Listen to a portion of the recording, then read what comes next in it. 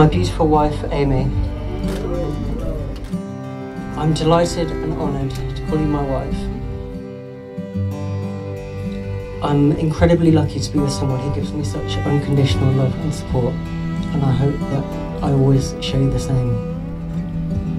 You are kind, caring, intelligent.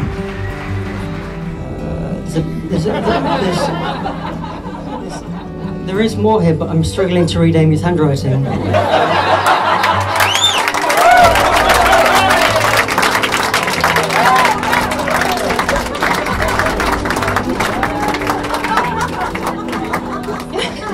It says modest.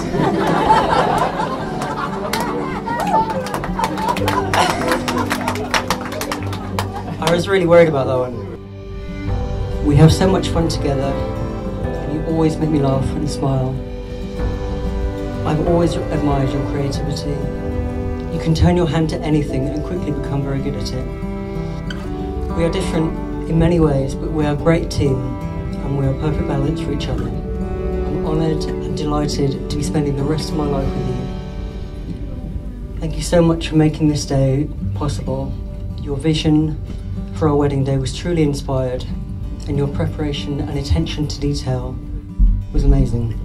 So please, ladies and gentlemen, please be upstanding for the most important toast of the day.